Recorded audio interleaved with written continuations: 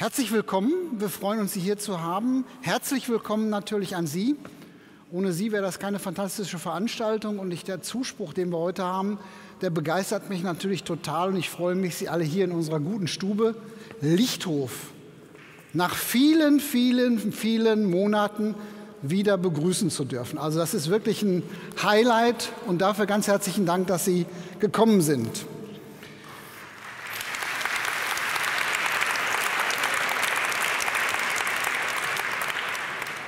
Wir sind natürlich dankbar, dass auch unser literarischer äh, Salon dieses Thema aufgegriffen hat und unsere direkte Ansage, wir wollen das hier in Präsenz durchführen, auch direkt umgesetzt hat. Also von daher ganz lieben Dank an unseren literarischen Salon und viele, viele helfende Hände im Hintergrund, die Sie so gar nicht sehen, die aber erforderlich sind, so eine Veranstaltung hier durchzuführen. Also vielen Dank für Ihr Kommen. Und vielleicht ein paar wenige Worte, bevor es dann ernst wird, nein, für Sie unterhaltsam wird. Sie wissen alle, wir hatten eine Online-Veranstaltung der Konfuzius-Institute in Essen-Duisburg und Hannover geplant, unter Corona-Bedingungen. Und dann gab es Unstimmigkeiten, ich will das mal so formulieren, zwischen den chinesischen und deutschen Partnern.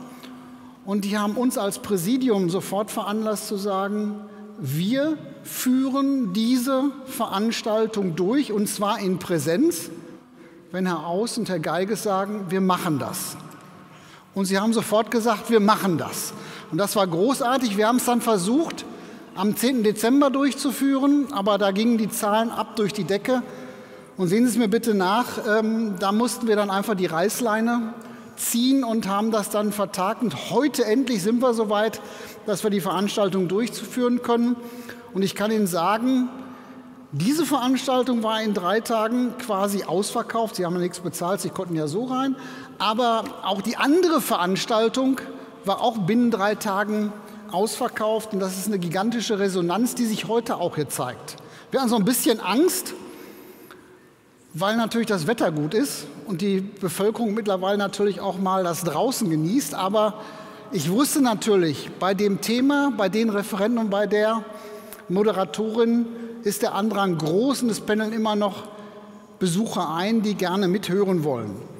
Es hat sich aber seitdem sehr viel getan, wie Sie alle wissen, und deswegen hat dieses Thema heute eine neue Dynamik bekommen in gewisser Weise. Sie wissen alle, neben Corona, was uns natürlich immer begleitet, hat dieser unleidige Angriff Russlands auf der Ukraine stattgefunden, ein fundamentaler Bruch des Völkerrechts, der durchs Nichts zu rechtfertigen ist und wir sind natürlich besorgt um unsere Partnerinnen und Partner, aber auch den Menschen vor Ort in der Ukraine, die das jetzt aushalten müssen. Und ich danke allen, und ich weiß, dass bei Ihnen das auch richtig ankommt, die sich engagieren, die Hilfe der Ukraine, den ukrainischen Bürgern auch zuteil werden zu lassen. Ich weiß, dass viele von Ihnen angepackt haben, gespendet haben, auch ukrainische Familien aufgenommen haben. Und dafür ganz, ganz herzlichen Dank auch von Ihrer Leibniz-Universität. Die besondere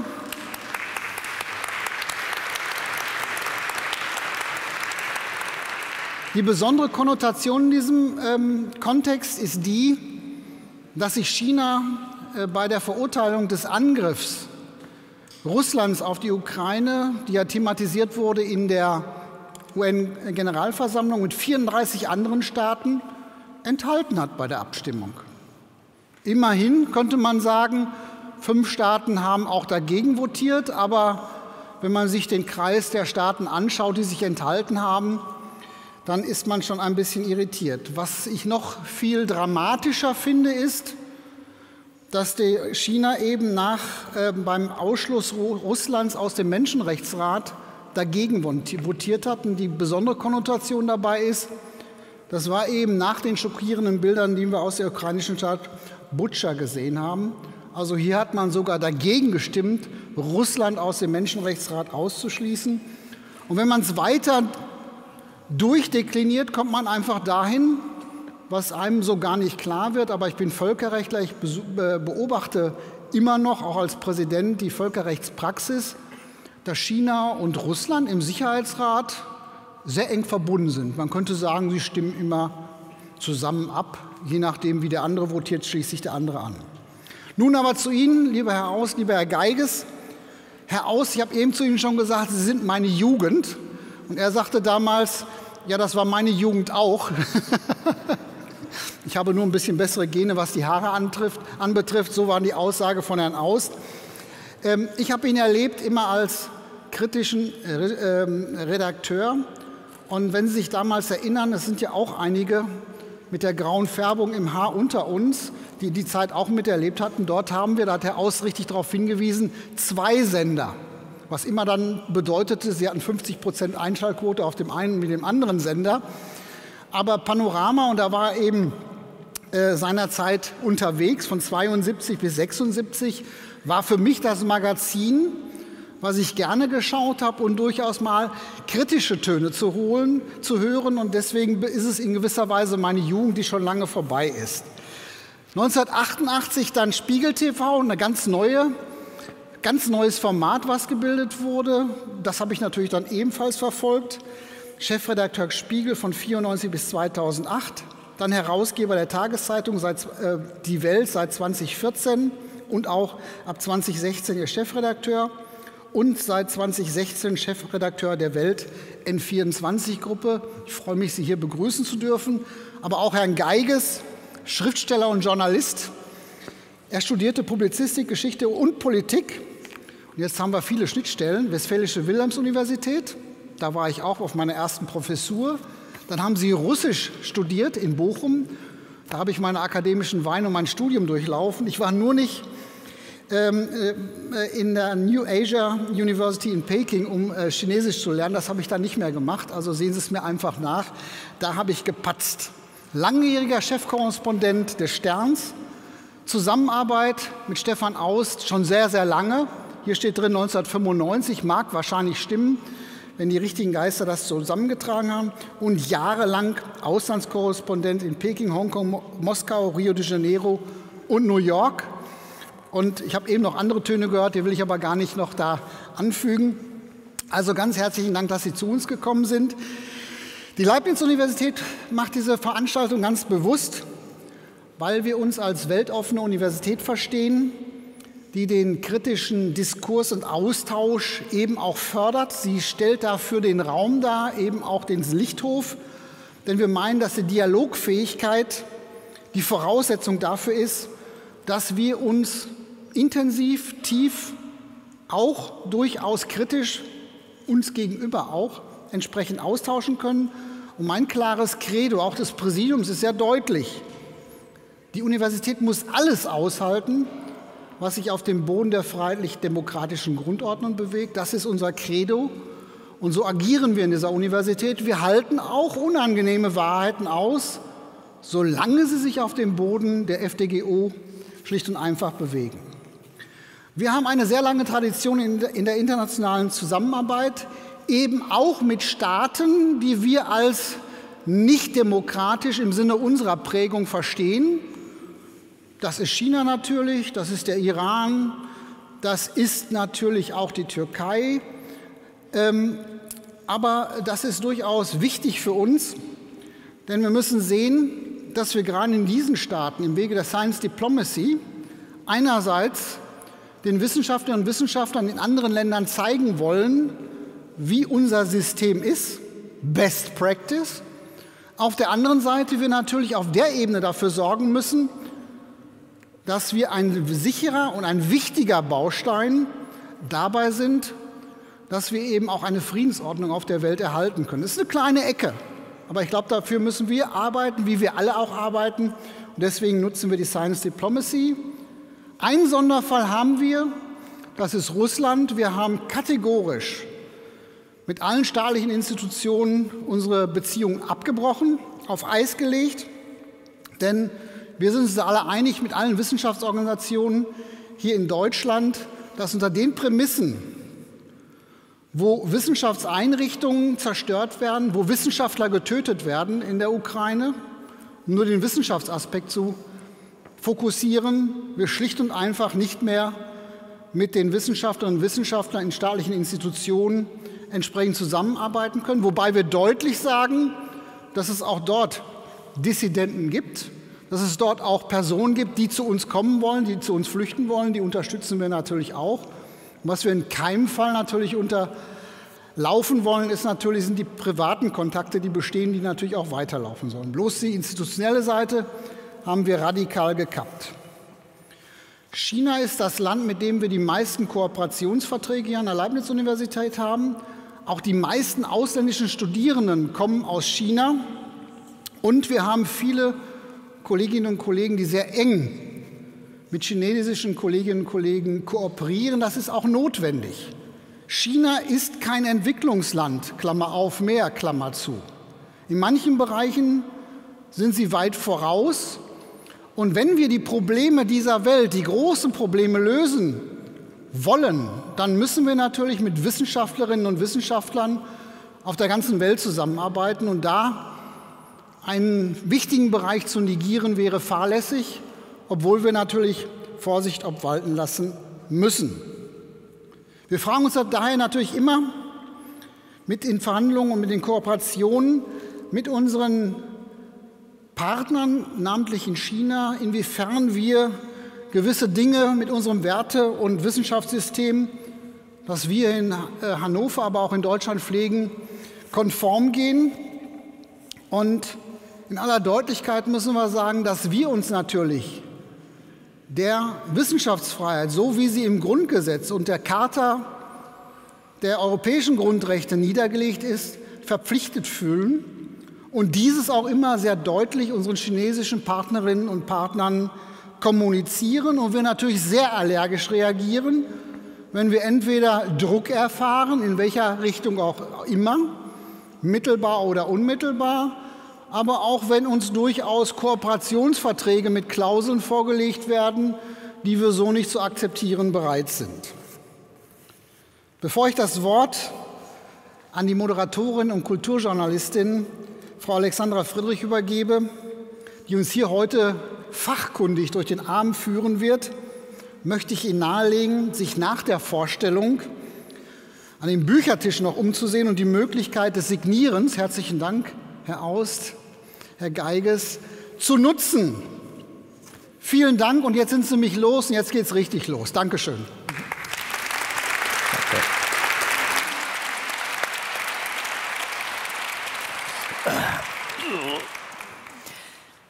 Ja, vielen Dank, Volker Epping, für die warmen Worte, für die Einführung, für die Einladung auch. Äh, vielen Dank auch an den Literarischen Salon für die Einladung. Danke natürlich auch an Sie alle für Ihr zahlreiches Erscheinen trotz äh, des herrlichen Wetters da draußen. Und äh, ich bin sehr gespannt und freue mich auf eine rege Diskussion. Ähm, wir werden uns vorher zu dritt warm machen hier auf der Bühne. Ähm, einfach um denjenigen, die vielleicht das Buch direkt nach der Veröffentlichung gelesen haben, es ist ja schon im letzten Jahr im Juli erschienen, nochmal ins Gedächtnis zu rufen, was denn äh, die beiden da zu Papier gebracht haben. Ähm, und auch Vielleicht gibt es ja die eine oder andere Person, die das Buch noch nicht gelesen hat. Äh, daher werden wir so 30, 40 Minuten ein bisschen eine Grundlage schaffen für eine Diskussion und dann wird diese geöffnet und dann äh, freuen wir uns darauf zu erfahren, was Sie denn so für Fragen haben. Denn wie gesagt, das Buch ist ja schon im letzten Jahr erschienen. Es ist sehr viel passiert. Volker Epping hat ja einiges schon angerissen auch. Eine Zeitenwende, davon ist immer wieder die Rede, wenn wir vom Krieg gegen die Ukraine hören. Aber auch in der Pandemie gibt es neue Entwicklungen, die auch in China gerade massive Änderungen mit sich gebracht haben. Ähm, dann äh, geht es weiter mit Taiwan, ähm, auch dort weitere Ereignisse. All das wird sicher eine Rolle spielen dann später in der Diskussion. Aber jetzt würde ich ganz gerne ähm, ganz vorne anfangen. An Sie auch herzlichen Dank, auch und insbesondere. Und ähm, was mich interessieren würde, wenn wir zum Beginn zurückgehen, äh, zur Geburt dieser allerersten deutschsprachigen Biografie Xi Jinpings. Mich würde interessieren, an welcher Stelle, Sie kennen sich ja schon lange, Sie beide haben einen Bezug zu China auch schon sehr lange, Sie als Korrespondent, Sie haben ja auch über äh, Konfuzianismus zum Beispiel gearbeitet. Ähm, an welcher Stelle haben Sie gesagt, Sie müssen diese Lücke jetzt füllen, gemeinsam und vor allen Dingen, wie geht man dieses Projekt an? Ist ja nicht einfach, auch die politische Elite Chinas da heranzukommen. Wie sind Sie es konkret angegangen, das Projekt, Herr Ost? Vielleicht müssen Sie beginnen. Naja, wir haben uns beide über viele, viele Jahre und Jahrzehnte immer für China interessiert. Bei mir hat das äh, eine familiäre äh, Hintergrund. Ein Onkel von mir äh, hat fast 30 Jahre in China gelebt. Und Sie können sich vorstellen, nach dem Krieg, also zwischen, nach dem Ersten Weltkrieg ähm, und dann bis praktisch Kriegsende, ähm, da war in der Familie immer äh, die Rede von China. Wir haben also sehr häufig darüber geredet, aber man kam da ja im Grunde nicht hin während der ganzen maoistischen Zeit. Und als ich dann beim, beim Spiegel war, als ich Chefredakteur wurde, äh, gab es häufig mal die Möglichkeit, ein Interview zu machen mit dem Bürgermeister von Shanghai. Dann habe ich gesagt, da fahre ich mit. Nicht? Oder wo auch immer. Und also das ging so weit, dass ich einmal sogar, das kann man sich heute gar nicht mehr vorstellen, da haben wir ein Interview gemacht äh, mit Yang Zemin, dem damaligen Staatschef. Also das war, glaube ich, die absolut extreme Ausnahme. Und äh, das war schon ein wirklich sehr interessantes Erlebnis, auch wie die damit umgegangen sind damals. Äh, es war erstmal ein schriftliches Interview, wie man das so macht. Ähm, und dann musste der Chefredakteur mit, um ein Foto zu machen. Und dann haben wir gesagt, das ist ja auch nicht in Ordnung, wenn der Chefredakteur dann nur nach Peking fliegt, um noch ein Foto mit dem Staatschef zu machen. Dann wollen wir auch ein paar Fragen nachstellen. So, und das zog sich dann endlos hin und plötzlich kam dann der Termin äh, und dann waren fast so viele Leute, wie hier jetzt versammelt sind in dem Saal. Da war es, äh, also ich glaube, mehr als das Politbüro war da versammelt. Und dann kam er und hat mich auf Deutsch begrüßt und hat gesagt, so, dann machen wir doch jetzt mal das Interview. Und dann haben wir das vollständig neu gemacht. Und das war eine Situation, äh, bei der ich wirklich das Gefühl hatte, es tut sich etwas in dem Land. Also wir haben auch, wir haben das Interview zum Teil auch in dem Buch abgedruckt. Und man hatte den Eindruck, sie öffnen sich. Nicht? Und dann, also ein paar Jahre später, ich bin, wie gesagt, relativ häufig da gewesen, Adrian viel länger und im Stück und der kann auch noch die Sprache, das ist was, ist was ganz anderes. Aber dadurch haben wir einfach sehr häufig zusammen geredet. Und dann bin ich einmal in Singapur gewesen und habe einen deutschen äh, Wirtschaftsprofessor dort getroffen. Und der hat gesagt, machen Sie sich eigentlich Gedanken darüber, welche Rolle der Konfuzianismus, das gibt ein richtiges Comeback des Konfuzianismus, äh, spielt. Und dann habe ich Adrian das erzählt und habe gesagt, wenn ich jetzt, da war ich schon nicht mehr Chefredakteur, wenn ich jetzt Chefredakteur des Spiegel wäre, würde ich sofort einen Titel darüber machen. Und da wir das aber ja nicht mehr waren bei dem Objekt, haben wir dann entschieden, ein Buch zu machen. Und dann hat uns äh, vor, weiß nicht, vor zwei Jahren nicht, der Verleger gefragt, ob wir nicht, äh, bei dem wir damals dieses Buch gemacht hatten, in einem anderen Verlag, ob wir nicht ein Buch über China machen wollten. Und dann haben wir gesagt, also na, also wie sollen wir denn das machen und wie viele Jahre wollen wir uns dafür nehmen? Und dann kam Adrian mit der, wie ich auch also nach wie vor finde, sensationellen Idee, dass er gesagt hat, und das hat mich völlig überrascht, es gibt kein Buch über den Staatschef.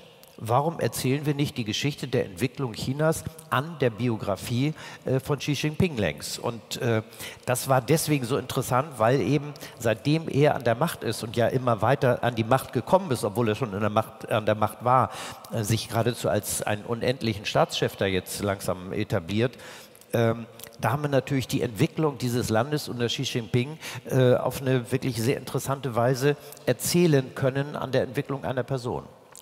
Weil es ja wirklich das Unglaubliche war, es ist ja nicht nur die erste deutsche Biografie von Xi Jinping, Völlig verrückt. es ist die erste Biografie ja. von Xi Jinping überhaupt weltweit.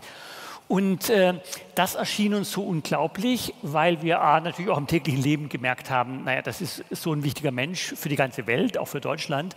Und die Leute wissen nichts über den. Es gibt über, über Donald Trump oder über Obama, mhm. gibt es Bücher ohne Ende, aber es gibt nichts über Xi Jinping. Und das Zweite ist, wir haben gemerkt, die Leute haben auch ein völlig falsches Bild über ihn im Sinne von, also ich erlebe das oft, wenn ich so mit, mit Unternehmern diskutiere, die in äh, China investieren, die denken immer noch, naja, ich, vielleicht jetzt im Moment nicht mehr, aber haben bis vor zwei Jahren noch gedacht, naja, das geht ja jetzt so weiter, wie es sich in den letzten Jahrzehnten entwickelt hat. Das Land äh, öffnet sich immer weiter, äh, äh Wandel durch Handel.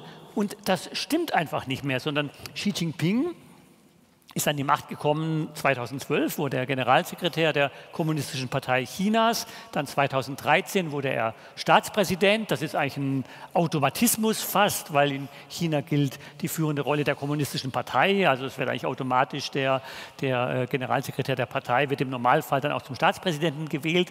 Also seither ist er an der Macht. Und das ist ein Mann, ich meine, wir beschreiben es ja im Buch ausführlich, der hat eine Mission Er selbst nennt das, das ist so diese für China typische blumige Sprache, die zweimal 100 Jahre. Er sagt, äh, das erste 100 Jahr ist 100 Jahre Kommunistische Partei Chinas. Das war im vergangenen Jahr. Bis dahin soll China, das ganze Land, so einen mäßigen Wohlstand erreicht haben.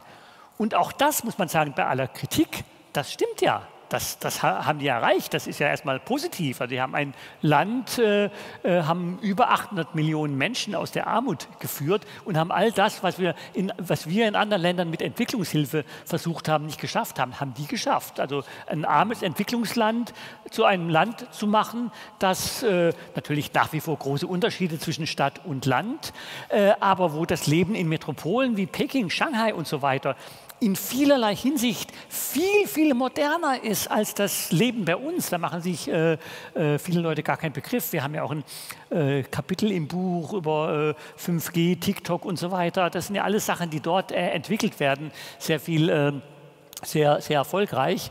So, und die zweiten 100 Jahre, die er möchte, er sagte zweimal 100 Jahre, ist das Jahr 2049. Das ist 100 Jahre Volksrepublik China.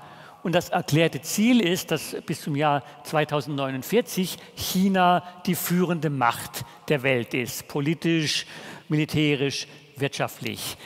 Äh, also das ist wirklich, äh, wie man es auch bewerten mag, das ist ein Land oder eine Person, Xi Jinping, die haben einen Plan. Also bei uns ist ja mehr so dieses Auf Sicht fahren und China hat einen Plan äh, bis ins Jahr 2049 möchte sagen, lange Rede, kurzer Sinn, das ist ja ausführlich im Buch auch alles dargestellt, ähm, es vollzieht sich da etwas, was für uns alle hier äh, riesige Bedeutung hat.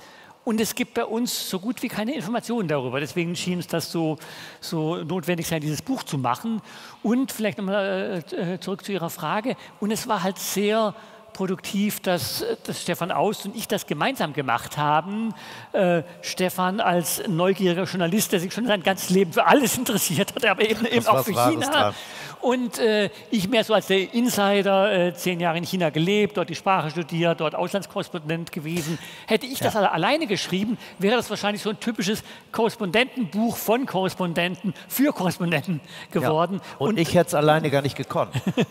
und, und, und, durch die Gemeinsamkeit ist es wirklich halt ein Buch, das, das halt für ein, äh, für ein breites Publikum interessant ist und wie man sieht ja äh, äh, nicht nur in Deutschland, sondern weltweit. Hier im Saal ist Frau Wiedemann vom Pieper Verlag, die ist mittlerweile mittlerweile in, in, äh, in, äh, in neuen Ländern mit steigender Tendenz verkauft hat.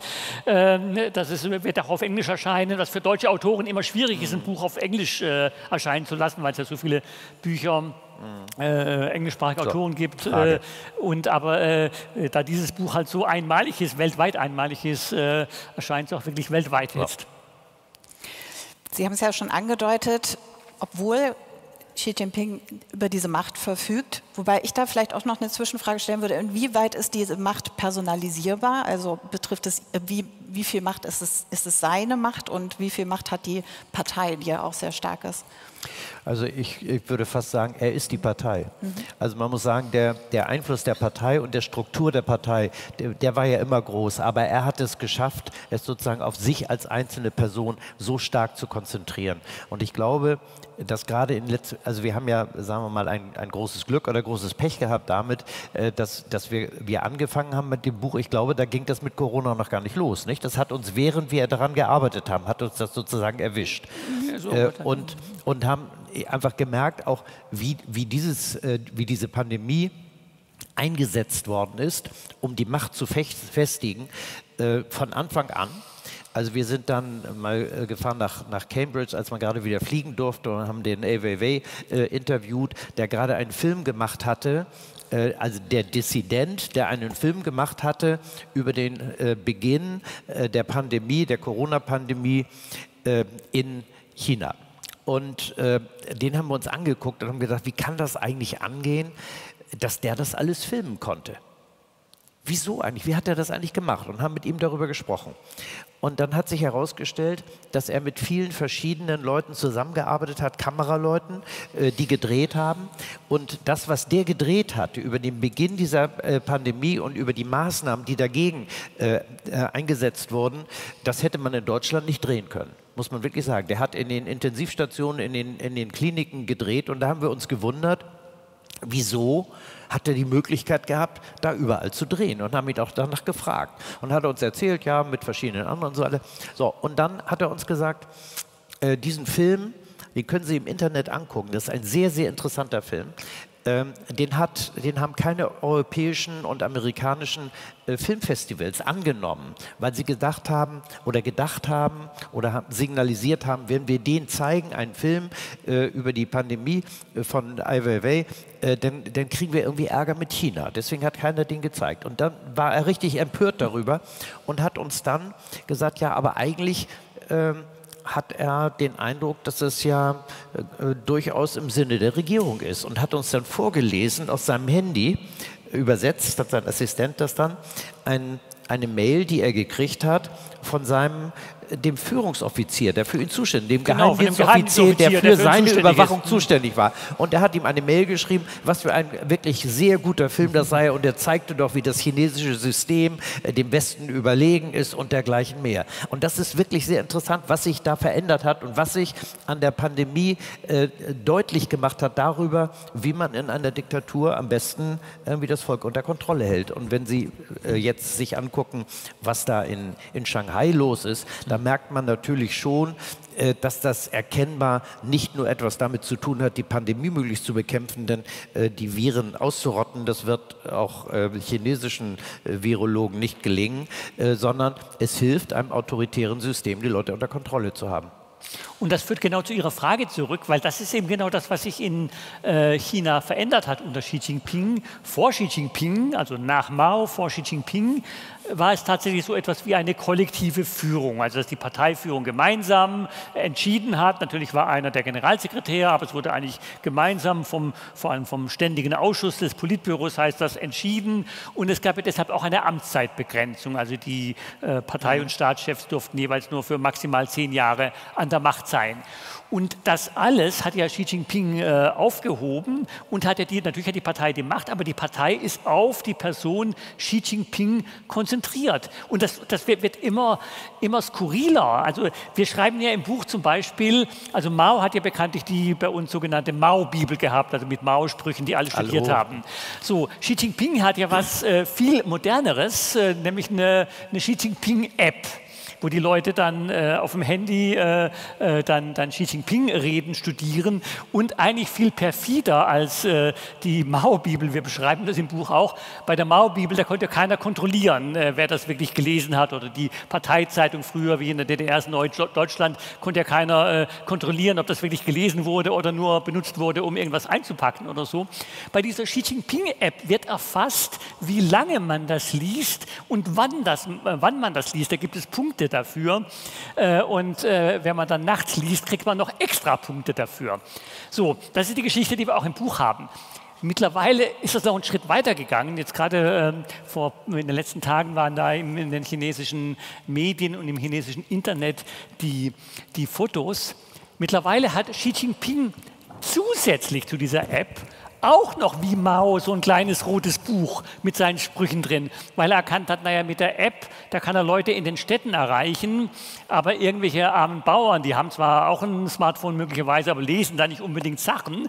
Und jetzt sieht man überall in China Fotos, wirklich wie damals bei Mao, wo, wo die da sitzen, Schulkinder mit roten Halstüchern, arme Bauern sitzen zusammen äh, und, und lesen diese ja, Xi Jinping-Bibel, lernen auswendig Sprüche äh, von Xi Jinping. Da wird dann im chinesischen Fernsehen gesagt, ja, es wäre so, es wäre gut, wenn man, also jetzt für die, für die einfachen Leute sozusagen, die Bauern oder so, es wäre gut, wenn man doch jeden Tag zumindest zehn Minuten Xi Jinping studiert und Xi Jinping auswendig lernt. Ja, um Xi Jinping zu charakterisieren, vergleichen Sie ihn ja auch immer wieder mit seinen Vorgängern, zu, zuallererst äh, natürlich Mao. Ähm, aber es gibt ja nicht nur diese Parallelen, die Sie jetzt aufgetan haben, sondern auch große Unterschiede zu Mao. Naja, äh, die Unterschiede sind als erstes mal die, dass durch die Öffnung des Landes nach äh, dem, dem äh, Tod von Mao, nachdem das dann nach außen geöffnet worden ist, es einfach ein, ein reiches Land geworden ist.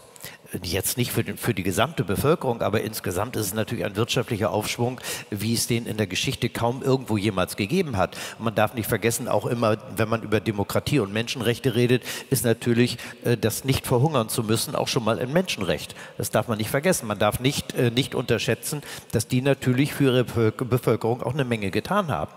Äh, und ihnen am Anfang ja auch die Möglichkeit gegeben haben oder auch immer noch, im Ausland zu studieren. Die haben mir das, die, die Leute nicht eingesperrt. Nicht? Sie durften woanders hinfahren, sie durften, durften studieren, sind dann auch die meisten freiwillig wieder zurückgekommen. Äh, das heißt, das Land hat unglaubliche Fortschritte gemacht. Aber gleichzeitig ist im Zusammenhang mit der Digitalisierung in den letzten Jahren natürlich auch ein System entstanden, mit dem man eine Bevölkerung auf ganz andere Weise unter Kontrolle halten kann, wie das zum Beispiel zur Zeit von Mao oder zur Zeit der DDR äh, gewesen ist. Wir müssen uns ja nur mal überlegen, vor, vor 30, etwas mehr als 30 Jahren, als es die DDR noch gab, wir kennen ja die Stasi-Unterlagenbehörde, habe mich mit der Stasi außerordentlich intensiv beschäftigt, wie viele geheime Mitarbeiter die hatten, wie viele IMs die hatten, alles mögliche Mögliche, wie viele Akten es davon gibt, wie viele riesengroße Aktenvorräte es gibt. Und wenn wir uns dann mal vorstellen, dieses Ministerium für Staatssicherheit hätte es gegeben, äh, wenn sie auch Computer gehabt hätten, die auch funktionieren und ein Überwachungssystem, wie es möglich ist, mit Handys und mit Kameras auf den Straßen, dann hat man ungefähr eine Vorstellung davon, wie sich das in China seit Mao Zedongs Zeiten tatsächlich entwickelt hat. Das ist, also ich habe mal mit einem anderen Kollegen Thomas Ammann zusammen ein Buch gemacht, das hieß die digitale Diktatur.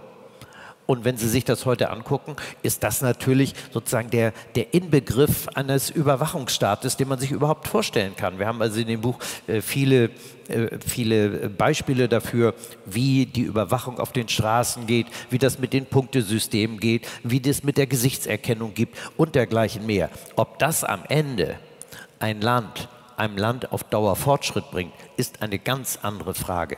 Und wie, wie manchmal Sachen nach hinten losgehen, das wissen wir ja an der Geschichte mit unserem Buch und dieser geplanten Veranstaltung hier. Das müssen wir jetzt gar nicht noch, noch deutlich machen. Manchmal ist es eben so, äh, dass autoritäre Systeme oder Diktaturen äh, glauben, dass man mit Anordnungen und mit Überwachung alles erreichen kann. Und irgendwann merken sie mal, dass sie damit ziemlich schief liegen, äh, wie wir möglicherweise oder hoffentlichweise an dem Krieg in der Ukraine auch gerade sehen. Es gibt da sehr viele Parallelen. Und das Interessante ist, dass, dass wir eben mehr oder weniger zufällig äh, zu einem bestimmten Zeitpunkt darauf gekommen sind, uns jetzt mit dieser Person zu beschäftigen, mit dieser Entwicklung. Und da sind wir in eine Entwicklung reingeraten und konnten die sozusagen in der Anfangsphase beschreiben. Wir haben das Buch ja auch noch ein Stück jetzt für die ausländischen ähm, äh, Editionen nochmal etwas ergänzt durch, durch, durch Aktualisierung.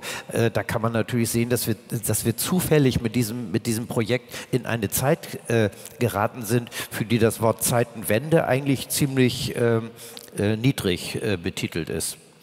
Es gibt noch einen anderen wichtigen Unterschied zwischen äh, Xi Jinping und Mao. Mao hat sich ja eher so als Kommunist alter Schule, war ja so gegen das Alte, gegen die alten Sitten und insbesondere in China gegen den Konfuzianismus. Mhm. Bei Xi Jinping ist es äh, im gewissen Sinne umgekehrt, mhm. beziehungsweise Xi Jinping legt auch großen Wert äh, auf eine Art von Reideologisierung, was, was das Marxistische angeht. Also sagt, das ist vernachlässigt worden, das Studium des Marxismus und das muss, muss wieder mehr und mehr rote Fahnen, mehr rote Lieder. Gleichzeitig sieht er sich aber äh, auch in der Tradition der chinesischen Geschichte von Konfuzius über die chinesischen mhm. Kaiser äh, bis mhm. heute. Und das ist eigentlich ein Widerspruch, weil ursprünglich waren ja immer gegen Konfuzius die äh, Kommunisten. Aber ähm, äh, das Bindeglied für ihn ist der Nationalismus. Also für ihn, das sind alles Chinesen und mhm. er ordnet das ein in eine großartige tausendjährige Geschichte, von der er quasi der aktuelle Vollstrecker ist, also Vollstrecker Strecke auch im Sinne von Taiwan zurückzuholen und so weiter und so weiter. Auch da gibt es eine gewisse Ähnlichkeit mit Putin. Hm. Ja. Der ja eben an die russische Geschichte anknüpft und im Grunde äh, von der Wiederherstellung des Zarenreiches hm. äh, redet. Ja. Das ist wirklich äh, sehr gespenstische Parallelen, muss man wirklich sagen. Ja.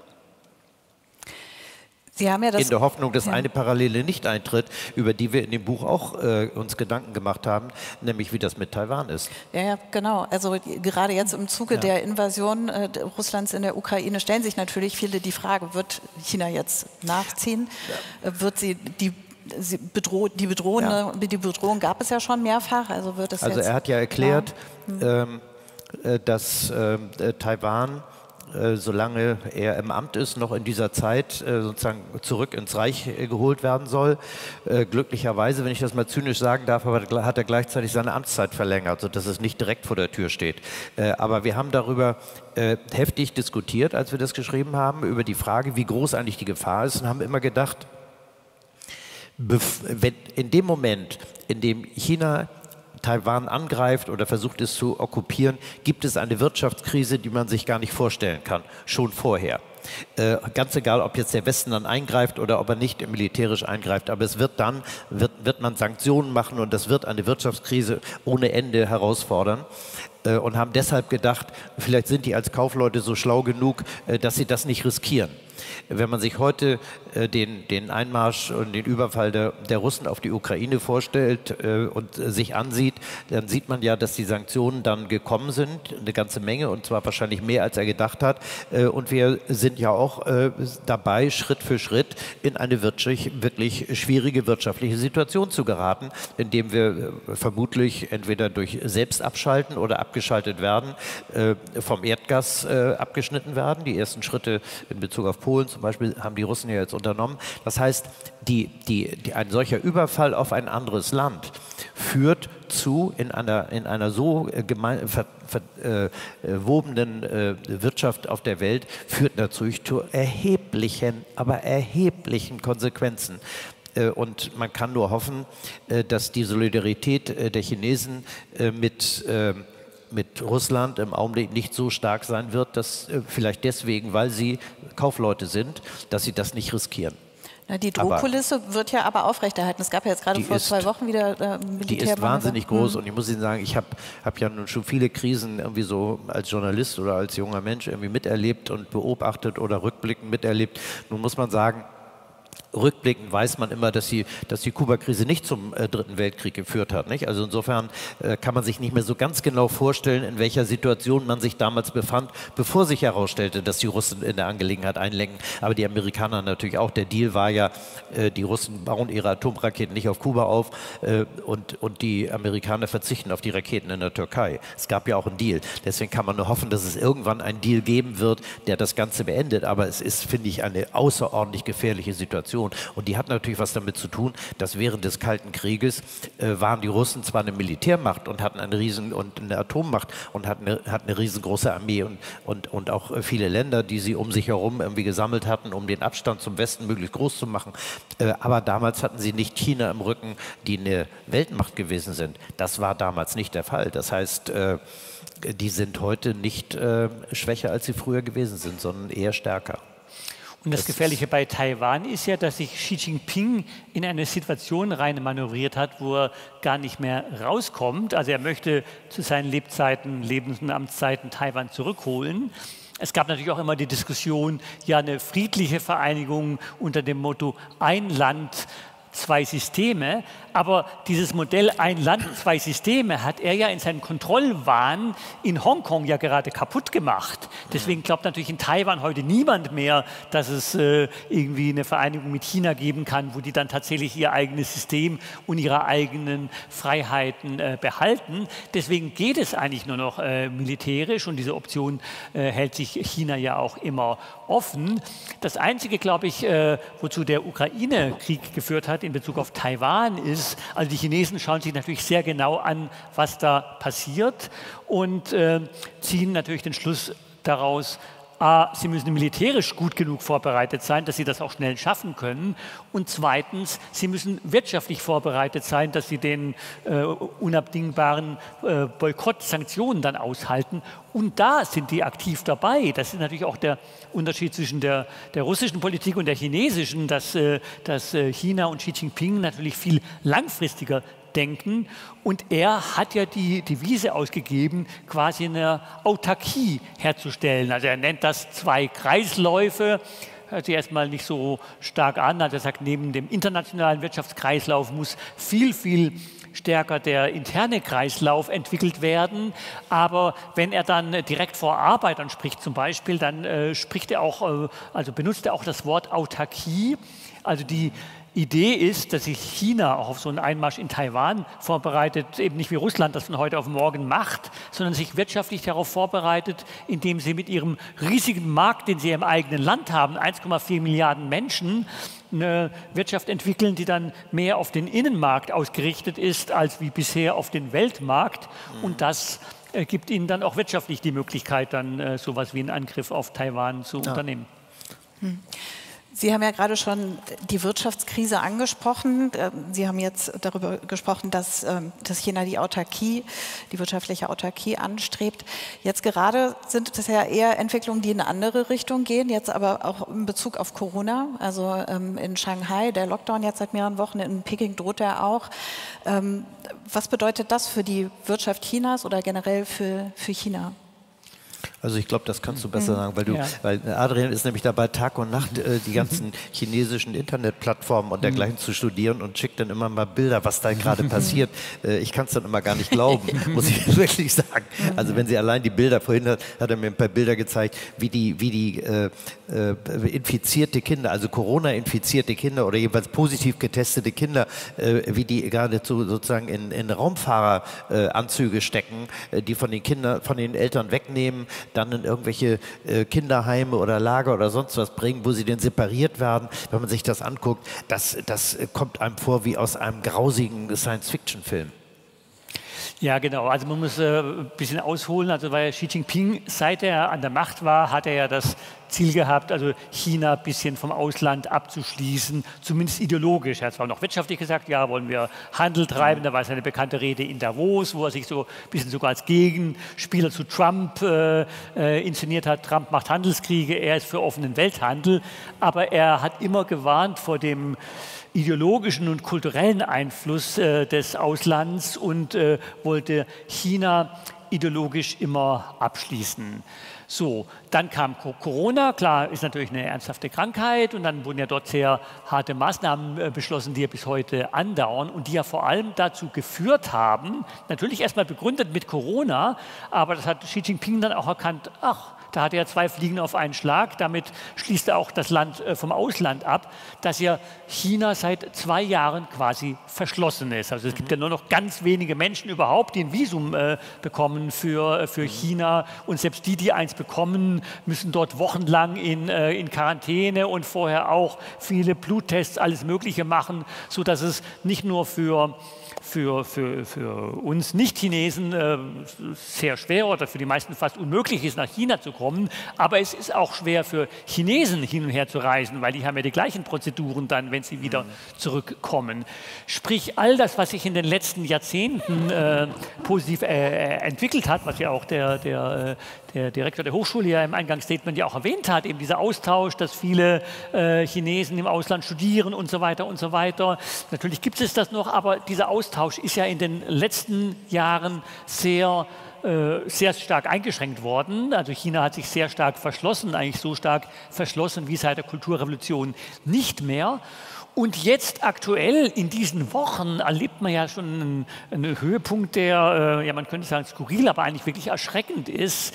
Also dass äh, also China muss man, wenn man es jetzt direkt auf Corona bezieht, sagen, war ja im gewissen Sinne erfolgreich, also dass sie halt, weil sie das Land abgeschlossen haben, weil sie harte Maßnahmen äh, getroffen haben, die Zahlen sehr niedrig waren.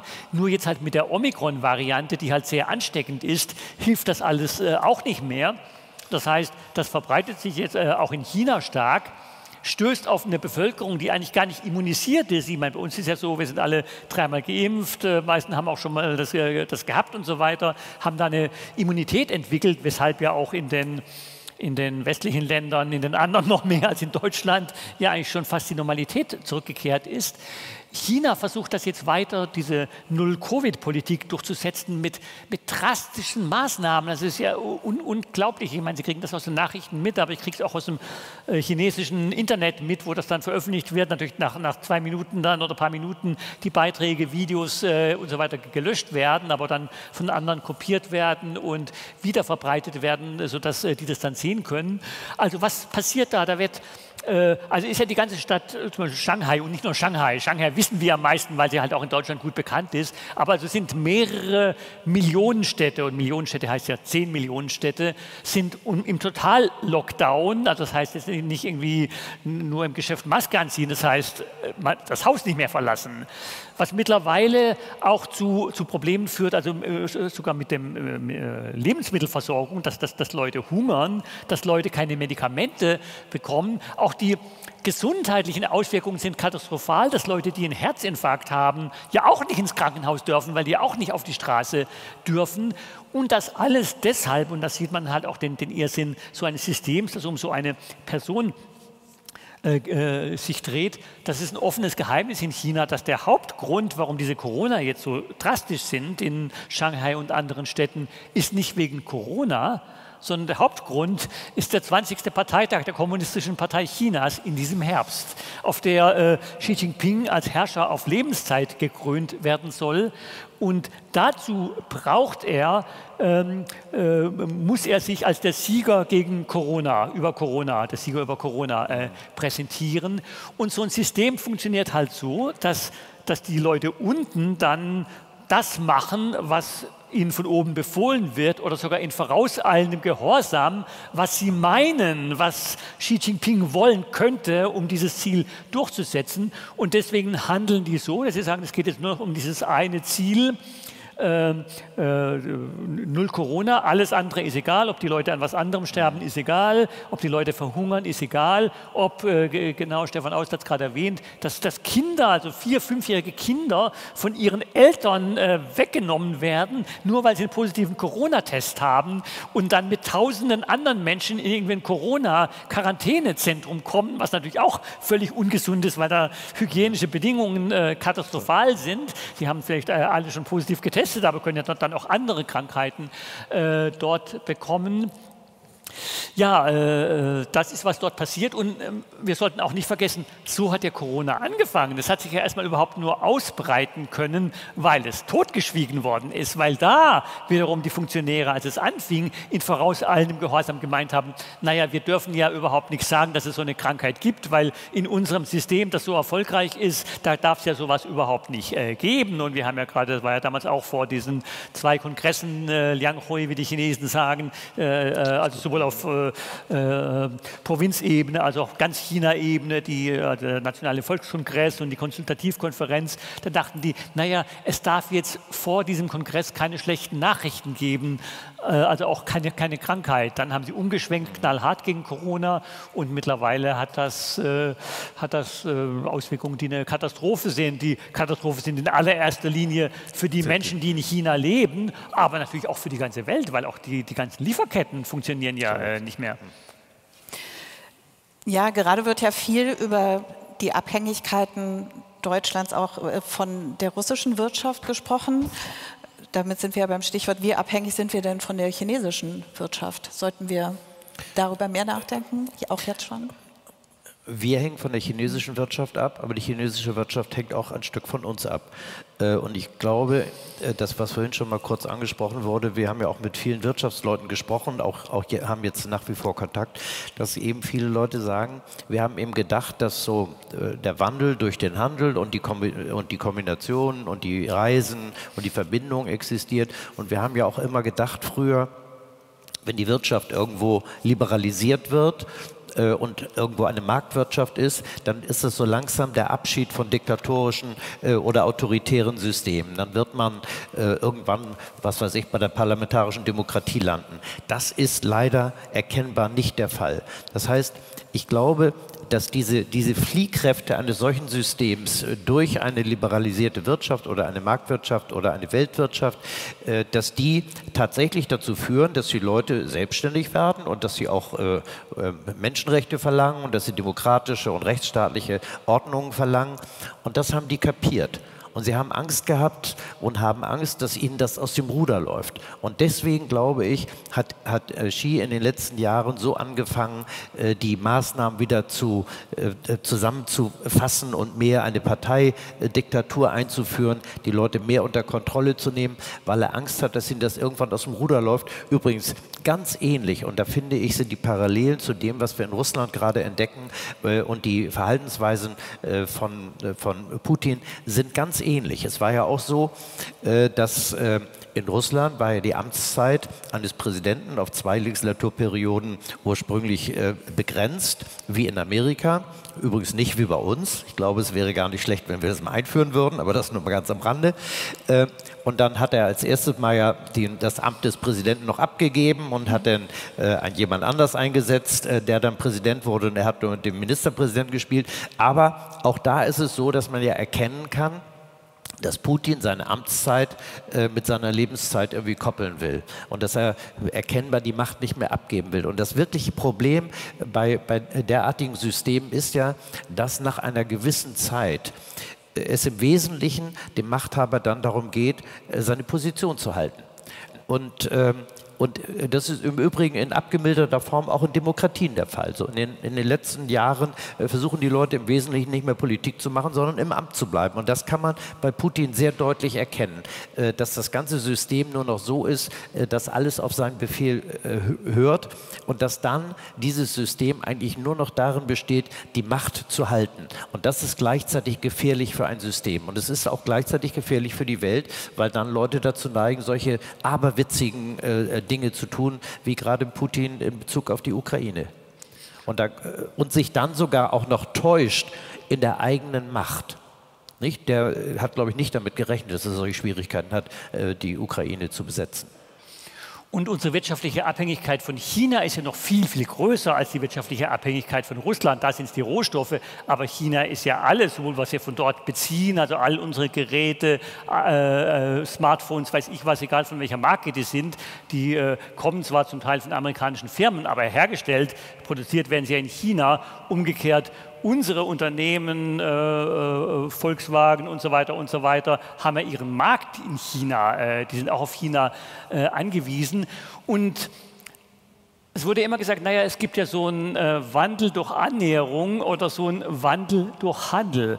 Ja, gibt es, aber mehr im Sinne dass, dass wir uns verändern, nicht, nicht, dass sich China verändert. Und nur, nur ein Beispiel dafür. Äh, hier der ähm, äh, Mercedes-Benz hatte einen Kalender veröffentlicht äh, und äh, hat äh, darin einen harmlosen Spruch gehabt vom Dalai Lama. Der Spruch hieß, Schau dir eine Situation von allen Blickwinkeln aus an und du wirst offener werden. Also ein völlig harmloser Spruch. Dann gab es Proteste Lama. dagegen aus China, weil da der Dalai Lama zitiert wurde. Und Mercedes-Benz Daimler ist, ist eingeknickt, haben sich entschuldigt bei den Chinesen dafür, ja, das wäre nicht ein großer Fehler gewesen, dass sie in ihrem Kalender da so einen Spruch vom Dalai Lama zitieren. Ich werde jetzt noch eine Frage stellen, dann äh, öffnen wir die Diskussion. Angesichts der neueren Entwicklungen, wir haben ja gerade über äh, Corona gesprochen und was das für die Wirtschaft auch Chinas bedeutet, ähm, bringt mit dem Festhalten an der Null-Covid-Politik und anderen vielleicht vermeintlichen Fehlentscheidungen Xi Jinping die Errungenschaften Chinas in ernsthafte Gefahr und auch den Titel, den Sie ihm verliehen haben, den mächtigsten Mann der Welt zu verlieren? Na gut, das, das schließt sich ja nicht aus. Also klar äh, kann er damit auch China und sein eigenes System in Gefahr bringen, weil eigentlich das, was China erfolgreich gemacht hat in den letzten Jahrzehnten, war ja die Öffnung. War die Öffnung. Also es wird zwar in der Propaganda der kommunistischen Partei Chinas so getan, als sei es dank der kommunistischen äh, äh, Partei Chinas seien die Menschen zu Wohlstand äh, gekommen. Aber in Wahrheit, ich meine, die äh, Kommunisten haben, haben gesiegt in der Revolution oder im Bürgerkrieg gegen die Kuomintang 1949 und dann unter Mao war China ein armes Land. Äh, wir hatten damals äh, gedacht, die Leute in Indien hungern, aber die, die größte Hungersnot in der Geschichte der Menschheit war während des sogenannten großen Sprungs nach vorn, Ende der 50er Jahre unter Mao. Dann gab es die Kulturrevolution Situation, wo quasi zehn Jahre Lockdown war, wo zehn Jahre alle Universitäten, äh, Schulen und so weiter mhm. alles äh, geschlossen waren. Chinas Erfolge fingen erst damit an, äh, mit, 1978, äh, also mit Deng Xiaoping, mit der Reform und Öffnung. Und mit seiner Politik, die ja äh, zumindest zum Teil von dieser Öffnung zurückgeht, äh, gefährdet Xi Jinping natürlich all das oder könnte es gefährden. Er selbst glaubt natürlich, dass China mittlerweile so eine naja, wirtschaftliche Macht das hat, dass er gar nicht aufs Ausland angewiesen ist. Aber er kann das alles in Gefahr bringen, was ihn aber nicht weniger mächtig, um es abzuschließen, nicht weniger mächtig und nicht weniger gefährlich macht, weil das sehen wir gerade ein Putin, also ein, ein äh, so ein Herrscher äh, in Verzweiflung kann ja noch viel gefährlicher sein als einer, bei dem alles gut läuft. Mhm. Nein, Amen. Alles beantwortet. Sehr schön. Ja, ich hätte noch ungefähr eine Million Fragen, aber Sie sollen ja auch die Chance bekommen, Ihre Fragen zu stellen. Ich bin jetzt sehr neugierig. Es gibt zwei äh, studentische Hilfskräfte mit großen, langen Mikrofonen. Und ähm, wenn Sie sich einfach melden mögen, dann da sehe ich eine Meldung.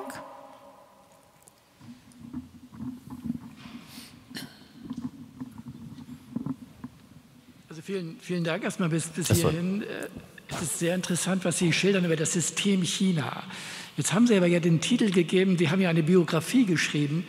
Und mich würde nochmal interessieren, inwieweit haben Sie diese Person eigentlich erkennen können? Ist da eigentlich eine Person, die das Ganze steuert, hat die bestimmte biografische Erfahrungen, die vielleicht äh, diese Politik beeinflussen? Gibt es irgendwelche Karriereknicks, irgendwelche Marotten, die am Ende diese Politik beeinflussen? Na, das, da ist das ganze Buch darüber, über diese Person, äh, über wie er sich äh, entwickelt hat, Xi Jinping, wie er äh, zu dem wurde, wer er ist. Also ist jetzt natürlich schwer in der Antwort auf eine Frage das ganze Buch zu erzählen, aber in Kürze gesagt kann man sagen, also er kommt ja aus der also was man in China Prinzling nennt. Also er ist der Sohn eines der Anführers der, der Revolution. Äh, sein Vater war stellvertretender Premierminister. Sein Vater fiel dann aber in Ungnade, wie es in solchen stalinistisch geprägten mhm. Systemen ja oft ist, dass es da irgendwelche Säuberungen gibt und äh, Mao dachte plötzlich, er ist ein Verräter. War er nicht, aber wurde halt plötzlich, wie es ja unter Stalin auch passierte, dann abgesägt und äh, erst unter Hausarrest und dann sogar gefoltert, Gefängnis und so weiter.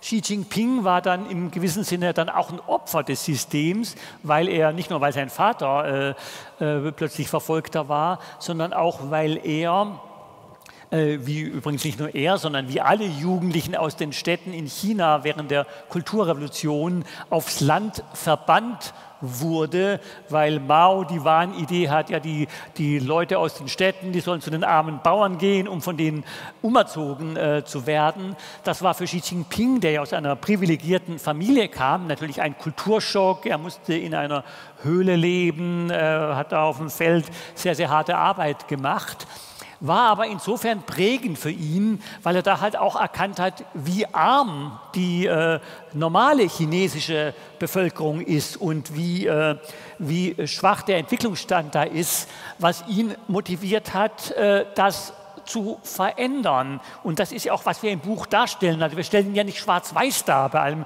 Kritischen, was jetzt gesagt worden ist. Aber wir sagen ja nicht, das ist jetzt ein schlimmer Mann, der nur schlimme Absichten hat. Nein, er hat, er ist von dem, was er sagt, überzeugt. Er möchte China mhm. zu dem großen blühenden Land machen. Und dafür waren, äh, weil Sie fragten ja, wovon er geprägt worden ist, da ist er von diesen Erfahrungen da aber, in der Armut, ja. das hat ihn geprägt, dass er sagte, das möchte er ändern. Aber das ist natürlich wie auch in anderen Ländern kein automatischer Prozess, dass da irgendjemand vom Himmel fällt, äh, der anschließend der mächtigste Mann der Welt wird, sondern das ist ja das, was wir versucht haben zu beschreiben, eine Karriere, die ja im Prinzip auch eine Karriere ist, wie sie auch in Amerika oder in Deutschland oder sonst wo stattfindet, dass Leute mit bestimmten Grundbegabungen durch bestimmte Zufälle an bestimmte Dinge äh, geraten, an andere Personen beraten, geraten und dann innerhalb dieses Machtapparates Apparates sich nach oben arbeiten. Das war von Anfang an nicht gesagt, dass er mal ganz oben landet. Nicht? Aber, aber er hat natürlich schon, äh, und das kann man eben an seinem Leben sehen, bestimmte Fähigkeiten, sich in bestimmten Situationen gegenüber anderen Leuten durchzusetzen. Und zwar im Endeffekt ziemlich rücksichtslos.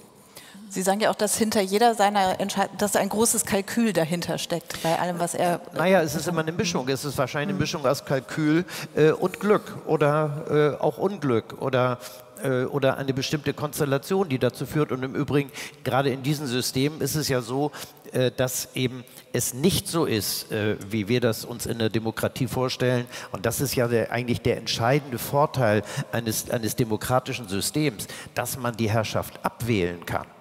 Die Wahlen sind nicht das Entscheidende. Das Entscheidende ist, mit Wahlen jemanden aus dem Amt entfernen zu können. Und das ist ja das, was in, in einem solchen System und jetzt auch gerade systematisch äh, von ihm auch beseitigt worden ist, die Möglichkeit, ihn loszuwerden. Schon allein dadurch, dass er vielleicht zwei Amtszeiten gewesen ist und jetzt zurücktreten muss. Das ist die wirkliche Gefahr, die in diesen Systemen liegt. Ist Ihre Frage beantwortet? Halbwegs. ähm, gut, wer möchte noch etwas wissen? Ah, da können Sie direkt bleiben. Ja, hallo, schönen guten Abend. Ich habe eine Frage zu Ihrer Einschätzung, was das Thema Korruption angeht. Auch wieder vielleicht im äh, Vergleich zu Russland. Es gibt ja jetzt nicht diese Wirtschaftsoligarchen in der klassischen Form wahrscheinlich, wie wir das in Russland sehen, aber ja doch äh, auch viele zu Geld gekommene Leute über die äh, wirtschaftliche Öffnung in China.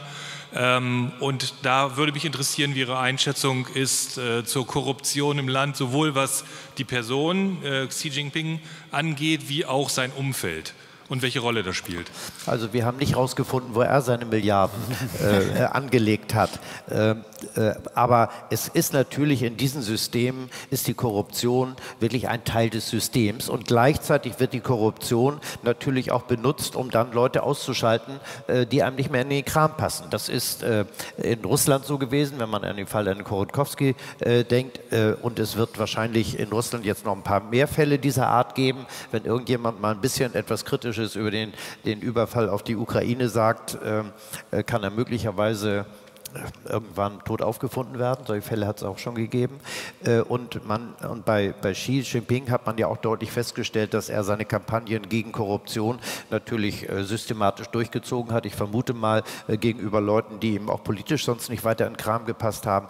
Das ist wirklich, da gibt es Ähnlichkeiten. Es gibt einen kleinen Unterschied vielleicht zwischen, zwischen Russland und, und China, dass die, die Großunternehmen, die wirklich Oligarchen, sind, glaube ich, im Wesentlichen Leute gewesen, die ein Unternehmen aufgebaut haben. Äh, die ersten großen Oligarchen, äh, die in Russland entstanden sind, das sind diejenigen, die quasi am Sterbebett äh, des Genossen Kommunismus gesessen haben und das Erbe in Form von Rohstoffen sich unter den Nagel gerissen haben. Das sind ja die wirklich die richtig großen Karrieren, die es da gegeben hat. Die haben, die haben ja eigentlich die Reichtümer des Landes untereinander aufgeteilt. Und das, was Putin dann eben gemacht hat, war, haben wir mal einen Spiegeltitel gemacht, der lautete etwa so, er hat die Fusion von KGB und Kapital gemacht. Aber nochmal auf China und Xi Jinping bezogen. Ich meine, er hat ja, sein, äh, äh, als er an die Macht gekommen ist, das Erste, was er machte, war eine große Kampagne vorgeblich gegen Korruption.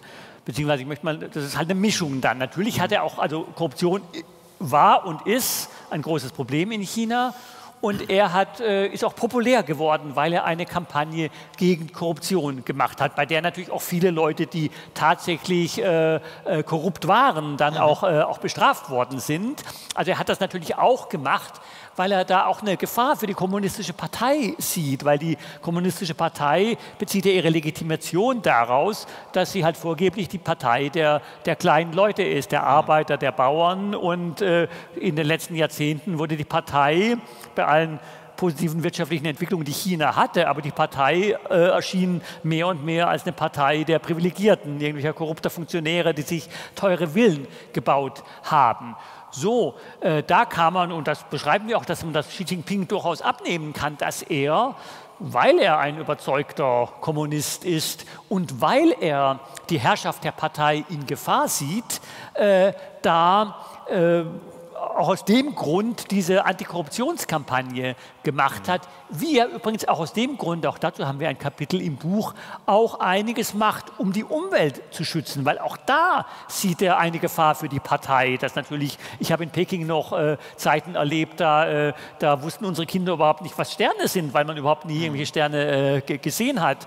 Äh, so, das hat er schon erkannt, dass da ja. auch die Herrschaft der Partei gefährdet ist. Darum diese Antikorruptionskampagne. Aber wie Stefan aus schon beschrieben hat, natürlich auch ein hervorragendes Mittel, um äh, tatsächliche ja, oder auch potenzielle Rivalen ja. auszuschalten, also auch einfach ein Klima der Angst auch zu verbreiten, weil er beseitigt ja nicht die Ursache der Korruption. Die Ursache der Korruption ist ja die unbeschränkte Macht von Funktionären. Die Den, beseitigt er nicht und er schaltet einzelne Leute aus. Dennoch, glaube ich, darf man eines nicht unterschätzen, gerade in der, im Vergleich mit Russland, dass der Staatsapparat äh, ziemlich kompetent ist und dass sie bestimmte Entscheidungen, Richtungsentscheidungen, wie sie sich wirtschaftlich entwickeln wollen, was sie machen wollen, also mit, mit höchster wissenschaftlicher Genauigkeit und wirklich sehr kompetenten Leuten gemacht haben. Sie haben ja am Anfang den, äh, sehr viel, also ich bin häufig in Singapur gewesen, habe da auch mit dem, mit dem äh, Gründer und Staatschef, äh, glaube ich, sogar ein oder zwei Interviews gemacht. Die haben sich ja Singapur sehr genau angeguckt und haben überlegt, was können wir davon kopieren, was können wir übernehmen. Äh, sie haben sich überlegt, was weiß ich, glaube, ich weiß gar nicht, ob die Geschichte stimmt, aber ich habe sie irgendwie so im Hinterkopf, äh, dass mir mal jemand erzählt hat, wieso sieht man in den, in den Großstädten in China keine Mopeds. Kein. Keine Mopeds. Mhm. Damals. Also als, und wenn, wenn man in Bangkok und in den anderen äh, äh, Großstädten Asiens gewesen ist, äh, die Städte waren voll von Mopeds. Und weil die gesagt haben, wir gucken uns das mal an und haben gesagt, das führen wir hier nicht ein, das machen wir nicht. nicht? Die haben also wirklich sehr systematisch geplant, was sie machen wollten, aber das ist eben in den letzten Jahren sozusagen äh, dem Machtkalkül ein bisschen zum Opfer gefallen. Vielen Dank. Was möchten Sie noch wissen? Vielleicht mal jemand hier auf der Seite. Hier vorne, der Herr. Ja, meine Frage geht etwas weg vom Biografischen. Mir geht die ganze Zeit durch den Kopf, kann man was sagen über Bedürfnisse der Bevölkerung? Hört sich jetzt komisch an. Welche Gruppen gibt es? Äh, wo liegen Interessenschwerpunkte? Stadt-Land-Unterschied, der ist schon mal gefallen. Vielleicht können Sie dazu noch was sagen. Danke ich glaube, äh, ein Machtsystem hält sich vor allen Dingen dann an der Macht, wenn ein großer Teil der Bevölkerung äh, tatsächlich Vorteile davon hat wenn sie erkennen, dass sie Vorteile davon haben. Äh, und da macht sich nicht jeder Gedanken darüber, ob das nur richtig ist, dass man jedes Bild, eine, äh, an, äh, jedes Foto von jemandem äh, mit einer elektronischen Kamera identifizieren kann und so den Staat unter Kontrolle bringt. Ich glaube, sehr viele äh, beurteilen einfach die Akzeptanz ihrer eigenen Person gegenüber diesem Staatsapparat danach, ob sie Vorteile davon haben.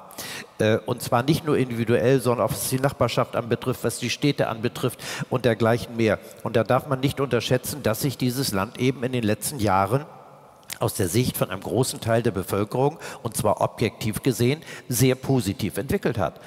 das, das funktioniert.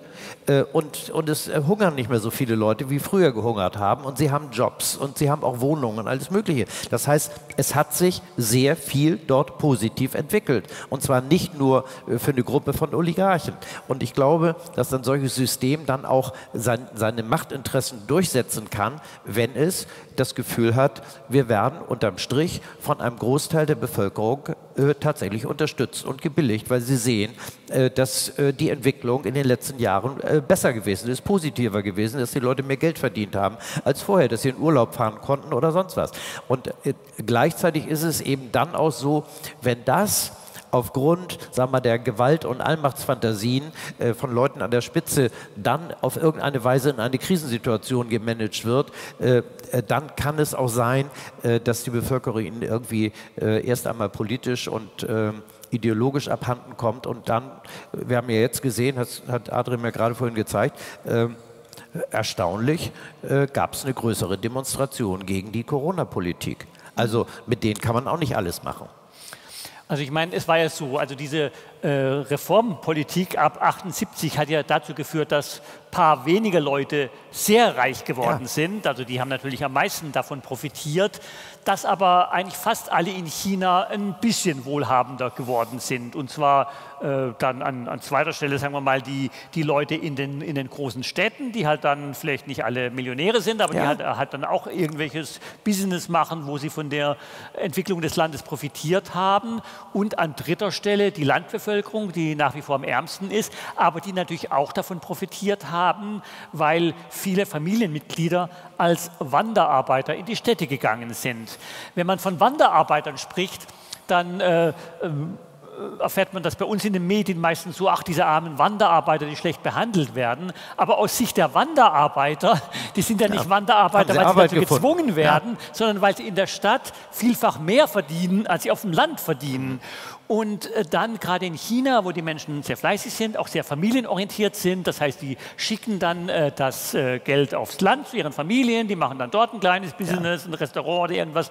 Und so ist es in den letzten Jahrzehnten für alle äh, eigentlich äh, deutlich besser geworden. Für manche vielfach besser, für andere ein bisschen besser. So, und ähm, es hat sich dann auch politisch irgendwie so eine Art, man nennt das oft so ein Deal entwickelt, das ist natürlich kein offizieller vereinbarter Deal, aber so, dass die Leute sich eigentlich aus der Politik rausgehalten haben. Mhm. Das war vor ein paar Jahren, das würde heute keiner mehr sagen öffentlich, aber vor ein paar Jahren, wenn wir da die Leute interviewt haben, Klar. haben die gesagt, ach Kommunismus, das interessiert ja keinen mehr, das ist ja eigentlich egal, wir interessieren uns, dass es uns wirtschaftlich gut geht. Das heißt, dieser Deal sozusagen war, die Leute lassen die kommunistische Partei regieren und die kommunistische Partei Natürlich. sorgt dafür, dass es das den Leuten jedes Jahr ein bisschen besser geht. So, und das Neue jetzt mit Xi Jinping ist, dass er nicht glaubt, dass das auf Dauer aufgehen wird, weil er denkt, dass es irgendwann mal ja. auch in China Wirtschaftskrisen geben wird oder man sieht sie jetzt auch mit Corona oder mit dem, was jetzt ja. in Shanghai und passiert. weil er die Abhängigkeit vom westlichen Handel reduzieren will. Ja. Und äh, so und darum äh, denkt eben Xi Jinping jetzt, nee, darauf allein kann er sich nicht verlassen, dass es wirtschaftlich immer irgendwie ein bisschen besser äh, geht und die Leute dann auch ruhig halten. Natürlich auch das war auch, ist auch ein wichtiger Punkt für Xi Jinping. Es ist natürlich auch so, es geht zwar allen Leuten in China ein bisschen besser, aber mittlerweile sehen die Leute natürlich auch so die Ungerechtigkeit. Die sagen, okay, mir geht es ein bisschen besser, aber warum geht es dem hier so viel mehr besser? Und vor allem, warum geht es den korrupten Parteikadern äh, so gut? Und äh, deswegen äh, ist durchaus auch ein Teil von Xi Jinpings Politik, kann man sagen, mehr Sozialismus oder mehr Sozialpolitik, also mehr als seine Vorgänger, möchte er eben nicht nur für Jack Ma oder irgendwelche Internetmillionäre da sein, sondern schränkt deren Macht ein äh, und auch deren wirtschaftliche Möglichkeiten ein, um eben so auch die ärmere Landbevölkerung oder ärmere Arbeiter, deren, deren Schicksal äh, zu verbessern. Aber vor allem glaubt er, wirtschaftlich allein reicht nicht aus, er braucht auch totale Kontrolle ideologisch, über Geheimdienst, äh, digital und so weiter. Natürlich, weil sie an jeder Stelle, und das ist auch wieder wie in Russland, äh, die Angst haben, wenn sie irgendetwas durchlassen, wenn es Demonstrationen gibt, wenn es Parteien gibt, wenn es Gruppierungen gibt, äh, dann steht die Macht insgesamt und damit auch der Zusammenhalt des Landes auf dem Spiel. Das ist ja das, über was Sie auch viel reden, redet ja auch Putin darüber. Äh, sie, sie werden das Land nur zusammenhalten können, wenn sie eine Kontrolle über die Bevölkerung ausüben, sonst bricht ihnen die ganze Firma auseinander. Und darum haben sie auch so eine große Angst. Sie wollen ja, dass es nur eine Organisation gibt, die was organisieren darf, mhm. die kommunistische Partei. Es ist ja alles ja. unter Führung der kommunistischen Partei. An jeder Universität gibt es die kommunistische Partei, in jedem Betrieb gibt es die kommunistische Partei und die stehen immer über den staatlichen Einrichtungen. Und ähm, deswegen haben die Angst vor allem anderen. Ein Beispiel, das man hier viel sieht, man hat ja hier in den Großstädten manchmal für diese Sekte Falun Gong, ich habe jetzt auch keine Sympathien für die, aber die werden ja deswegen verfolgt. Vor allem, die waren ja ursprünglich, haben die ja irgendwelche äh, Tai Chi oder so irgendwelche Übungen gemacht, hat keinen interessiert, bis die Partei plötzlich äh, Angst bekam, sagte, oh, das sind ja andere, die haben Eine plötzlich auch die Macht, außerhalb der Partei. zu organisieren. Ja. Und, und das geht... Äh, das geht so nach dem Motto, wäre den Anfängen. Zwei Beispiele. Äh, zwei Beispiele, Lesben und Schwule. Es hat sich dann auch, also es gibt ja im Internet dann über, äh, über äh, was bei uns WhatsApp ist, haben sie dann ja auch Gruppen äh, entwickelt von, von Lesben und Schwulen. Es war, war erst auch überhaupt kein, kein Problem. Das hat jetzt, was die äh, Sexualität oder dieses Thema angeht, das ist der Partei auch egal. Aber sie hat dann erkannt, oh, das sind ja auch wiederum plötzlich Leute, die sich Eine organisieren. Das haben wir nicht mehr unter Kontrolle. Dann haben sie das verboten. Dann hat sich MeToo entwickelt. Haben sie auch erst zugelassen, weil die wollten durchaus das Problem beheben. Aber dann haben sie gemerkt, oh, da entsteht ja eine richtige Bewegung. Dann haben sie das wieder verboten. Also die haben Angst vor jeder Art von Bewegung, vor jeder Art von Organisation, die außerhalb der kommunistischen ja. Partei ist. Und haben immer den Zusammenbruch des sowjetischen Imperiums vor Augen. Ja, ja. Vielen Dank. Da ist eine Wortmeldung. Da in der Mitte meldet sich ein Herr. Hier auch eine Dame. Eine Dame Ach, ja. Genau, schauen Sie mit.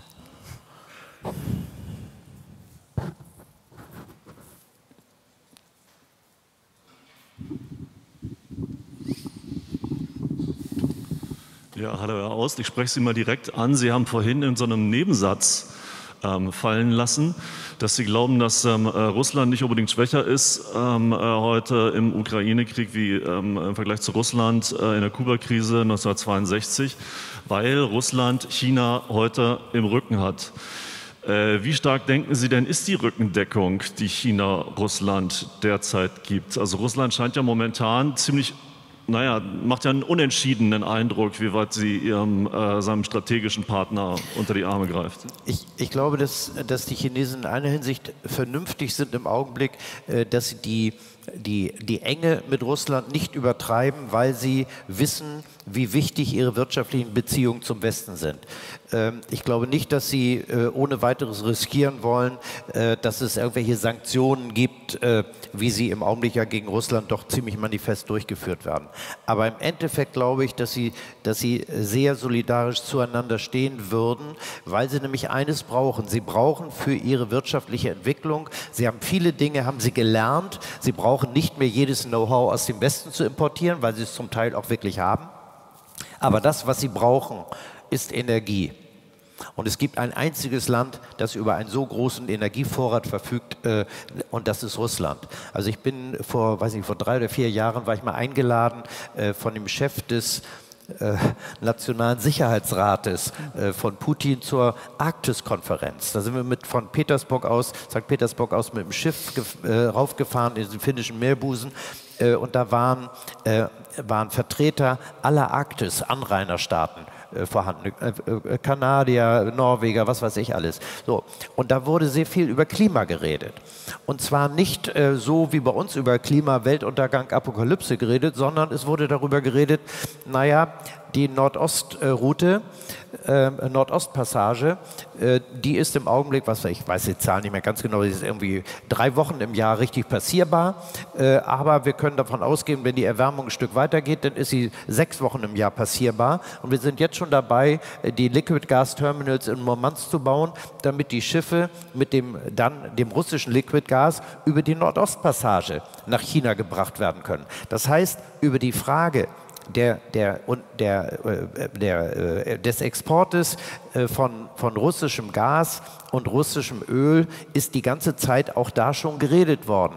Und ich glaube, dass, dass, dass Putin relativ cool umgeht mit der Frage, kriegt jetzt der Westen noch das Gas oder nicht, oder wollen die das nicht mehr haben und, oder sollen wir das abschalten? Das wird wahrscheinlich sowieso demnächst passieren, weil sie genau wissen, es gibt Abnehmer, die auch nicht viel weniger zahlen. Und äh, den Chinesen kann es äh, ziemlich egal sein, ob wir noch 55 Prozent unseres Erdgases aus Russland kriegen oder nicht, oder dass es abgeschaltet wird, dann wird das billiger.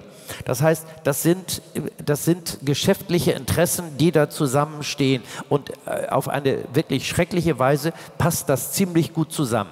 Deswegen bin ich ziemlich sicher, äh, dass die äh, Chinesen ähm, doch ziemlich dicht an der Seite der Russen bleiben, was diesen Ukraine-Konflikt und diesen Krieg äh, anbetrifft. Sie wären auf der anderen Seite äh, die einzigen, die äh, das relativ schnell zu irgendeinem Verhandlungsergebnis bringen könnten. Ich wüsste nicht, welches Land sonst in der Lage wäre, mit beiden Seiten so ernsthafte Worte zu reden, um das irgendwann mal zu beenden. Denn dass das mit irgendeiner Art von Kompromiss zu Ende gehen muss, ist ja äh, zumindest zu hoffen. Und das macht ja China ganz und offenkundig zumindest bisher nicht. Ob sie das wirklich tun, das weiß ich auch nicht. Und äh, ich meine, äh, zwei Hinweise darauf, dass China nicht wirklich neutral ist in diesem Krieg. Das eine ist, ich meine, äh, wenige Wochen bevor äh, Putin diesen Krieg angefangen hat, war er ja in Peking bei Xi Jinping ja. zur Eröffnung der Olympischen Spiele. Mhm. Aber da haben sie es ja nicht bei ein äh, paar Höflichkeiten belassen, Xi Jinping und Putin, sondern sie haben eine gemeinsame Erklärung verabschiedet, in der sie ihre gemeinsame Weltsicht äh, dargestellt haben, wo sie gemeinsam gefordert haben, eine neue Weltordnung, die mhm. nicht mehr von den USA dominiert wird, wo sie gemeinsam die Argumente Russlands äh, übernommen haben. Das Ganze wäre irgendwie nur gegen die NATO-Osterweiterung gerichtet und wo sie gemeinsam gesagt haben, und natürlich ist Taiwan ein untrennbarer Bestandteil von China. Also das war ja, diese gemeinsame Erklärung war ein richtiger Pakt, wo sie gesagt haben, sie gemeinsam wollen die derzeitige Weltordnung äh, äh, verändern. Nun kann man sagen, ja, das ist ja gut, dass irgendwie nicht mehr die USA alleine alles dominieren, aber es ist halt auch, äh, für sie gehört halt auch dazu eine Weltordnung, die nicht von unseren Vorstellungen von Freiheit und Demokratie äh, bestimmt ist. So, das ist äh, die große gemeinsame Erklärung oder dieser gemeinsame Pakt. Ja.